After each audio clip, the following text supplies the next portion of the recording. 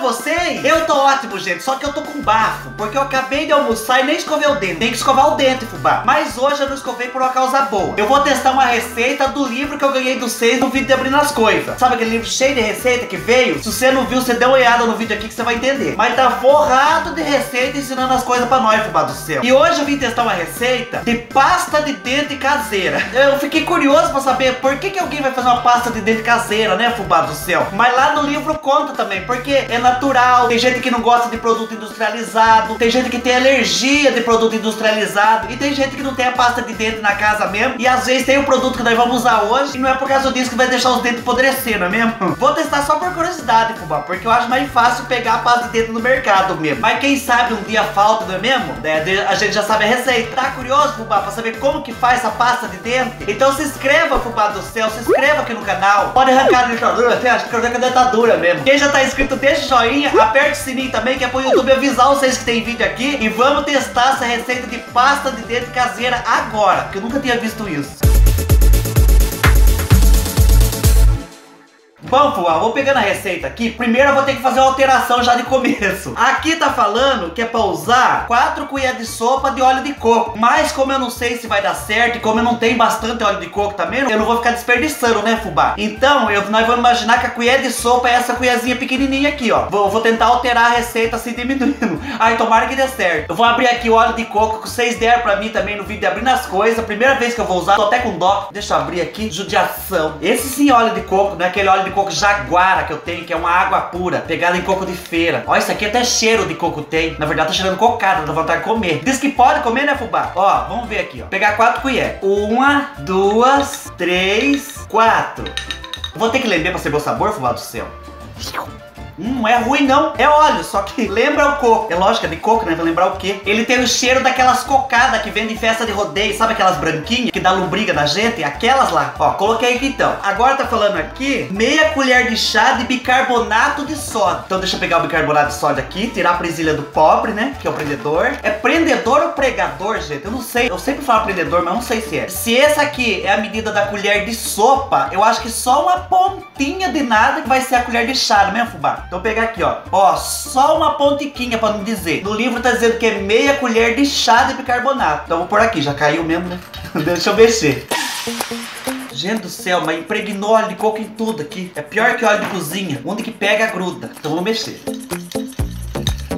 Esse bicarbonato tá em todas também, né? Agora tá falando que é pra usar duas colheres de adoçante. Duas colheres de chá. Gente do céu, será que vai dar certo? Vou colocar um pouquinho aqui na colher pra dizer. Aí toda a gente transformar a receita. Ó, coloquei metade da colher de adoçante, gente do céu. Vou misturar aqui também. Pior que esses adoçantes têm um gosto de remédio pra dor de cabeça, né? Eu compro adoçante em casa, não é que eu quero ser fitness, não é que eu quero ser magro. Eu posso perder tudo na minha vida. Posso perder cabelo, dente, bunda, unha. E a minha barriga tá ali, ó, firme e forte grudada na minha cintura. Minha barriga não me abandona. Então eu já desisti de querer emagrecer. Eu só uso adoçante em casa, que é porque ele mistura melhor nas coisas. Você faz um café, você põe adoçante, dá três viradinhas de colher, já tá misturado. Açúcar você tem que ficar ali, ó. Então eu já acostumei com adoçante por causa disso. É, preguiça.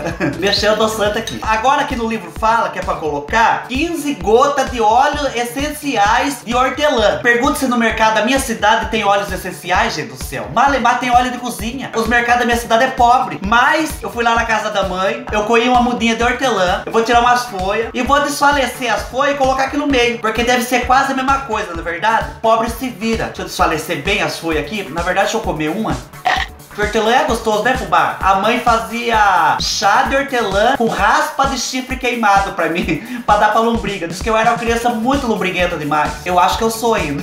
A mãe devia ter dado mais chá. Diz que pra matar uma lombriga não tem igual. E vou colocar aqui, fubá. Mexer com as coisas aqui, dar uma espremida, que é pra misturar. Se eu morasse na cidade grande, eu comprava um óleos essenciais. Se fosse barato. For caro, não quero saber não. Agora deixa eu misturar bem, pra ver se funciona. Gente, será que é assim antigamente que a turma escovava o dente? Ou a turma não escovava o dente antigamente? Esqueci de perguntar pra mãe com que fazia. Deixa eu pegar uma colher maior aqui, fubá, espremer bem, porque se eu não tenho óleos essenciais de hortelã, há de sair o óleo nessa espremeção aqui, ó. Eu junto tudo aí num cantinho e espremo bem. Há de sair o óleo. Isso aqui vai ficar melhor que a Colgate. A Close-Up vai mandar processar. Eu, eu sou da época da Colinos, vocês são também, gente do céu. Colinos. Daí se tivesse bafo já desmaiava a pessoa, né? Mas aqui em casa eu tô usando uma da mais barata. Porque já viu, né, o preço dessas coisas. Porque depois diz que pobre deixa os dentes apodrecer, que pobre tem bafo. Mas olha o preço que tá para as dentes, gente do céu. Tem dia que eu tô aqui em casa a ponto de escovar o dente com sabão guarará. Pronto, fubá, já espremi bem aqui, ó. Ficou desse tipo, ó. Tá mais parecendo um remédio pra colocar em cima de ferida do que pra escovar dente. Vamos ver, vamos ver o cheiro. Ai, pegou até no nariz, senhor. Vai ficar tudo oleoso meu nariz. Tá cheirando assim um coco refrescante. Deixa eu ver o gosto que tem. Fubá, não é que o gosto é gostoso? Hum! Na língua tá gostoso, não sei se vai pro dentro e vai chegar a arder tudo. Mas o gosto é uma delícia. Ficou bem espremidinho aqui, ó, mesmo coisa de salsinha. Ai, meu Deus, caindo? Ah, meu Deus, já não tem bastante. Caiu tudo minha experiência. Agora, fubá, é a parte que nós tem que saber. Já peguei a minha escova de dente, dei até uma limpada atrás aqui, ó, que tava branco de tanto escovar a língua. Essa escova aqui já tem quase um ano, não sei como que eu tenho gengiva ainda. tem que trocar urgente. Bom, fubá, agora é a hora do pulo do gato. Eu vou pegar essa mistura aqui e vou escovar o dente para nós saber saber se funciona, se é gostoso, o que, que eu vou sentir, se eu fico com hálito fresco. Vou escovar o dente aqui e vou mostrar pra vocês. Ó, pegar um pouco aqui da nossa pasta de dente caseira. O bom dessa pasta aqui é se você tiver com alguma folha de alface, de couve do vão do dente, já mistura com essa daqui. Ninguém vai nem perceber. Bom, deixa eu escovar o dente, parar de falação. Vamos ver, fubá, ó. Ai, mas não faz espuma? Agora não sei se era pra ter colocado água antes, que na pasta de dentro eu coloco água. Vocês põem também? Não é gostoso! Ai, cuspi longe! Aqui, ó! Meus pais! Ah. Vamos, vai, vou cuspir! Espera aí!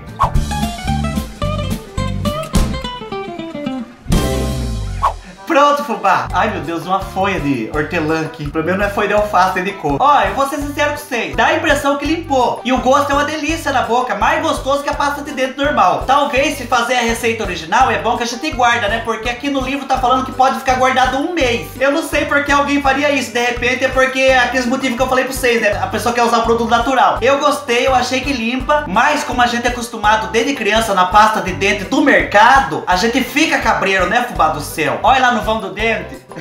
Limpou, fubá? Bom, eu acho que funciona. Mais tarde eu ainda tento com esse resto aqui. Porque por falta de pasta de dente não há de apodrecer meu dente. Fubá, você gostou desse vídeo? Você acha que funciona também? O que, você achou? Você vai tentar na sua casa? Vocês querem que eu traga mais receita do livro aqui pro canal? É só vocês falar pra mim que eu trago. Tem receita de tudo quanto é as coisas. Mas eu espero que vocês tenham gostado desse vídeo. Eu espero que vocês tenham se divertido. Aqui embaixo tem playlist cheia de receita de as coisas. Tem um monte de vídeo de tudo. Aqui do lado tem dois vídeos pra vocês assistir. Assistam um dos dois. E muito obrigado por me assistir até aqui. E sorria sempre, fubá. Ainda mais agora com pasta de dente natural. Sorria bastante, tá bom? Muito obrigado por me assistir até aqui. Tchau, até o próximo vídeo.